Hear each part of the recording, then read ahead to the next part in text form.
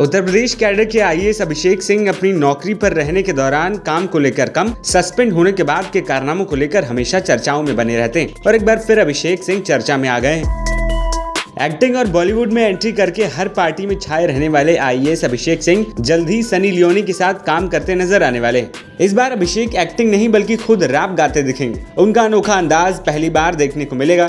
इससे पहले वो कई गानों और वेब सीरीज़ में अपनी एक्टिंग का जलवा दिखा चुके हैं। लेकिन उनका रैप वाला स्वैग पहली बार दिखेगा। और इसकी जानकारी भी उन्होंने खुद ही फ़ैन से साझा की।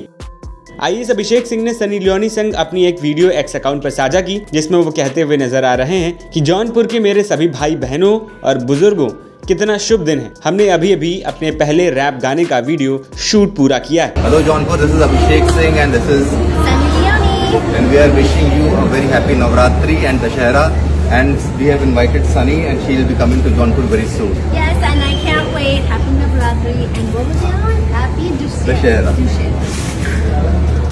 Abhishek Jubin Nautiyal के म्यूज़िक एल्बम में भी नज़र आ चुके हैं मनीष मल्होत्रा के बतौर मॉडल भी दिख चुके हैं बॉलीवुड में इतनी अच्छी पैट है और हर पार्टी में नज़र आते हैं सिर्फ़ यही नहीं आईएस अभिषेक सिंह ने नेटफ्लिक्स पर रिलीज़ हुई वेब सीरीज़ दिल्ली क्राइम्स के दूसरे सीज़न में भी अहम भूमिका निभाई थी। I Abhishek, famous IAS Durga Shakti, Nagpal के पति भी हैं। गुजरात चुनाव के दौरान अपनी कार के साथ फ़ोटो शेयर करने की वजह से उन्हें प्रेक्षक के पद से हटा दिया गया था।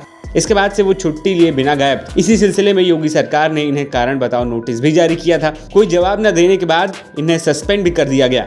वहीं कुछ दिनों पहले ही अभिषेक सिंह ने रिजाइन दिया। उत्तर प्रदेश कैडर अभिषेक का मूल कैडर था। इसमें वापसी करने से पहले वो दिल्ली कैडर में थे। वहाँ भी उन्हें सस्पेंड कर दिया गया था। एनबीटी ऑनलाइन की रिपोर्ट।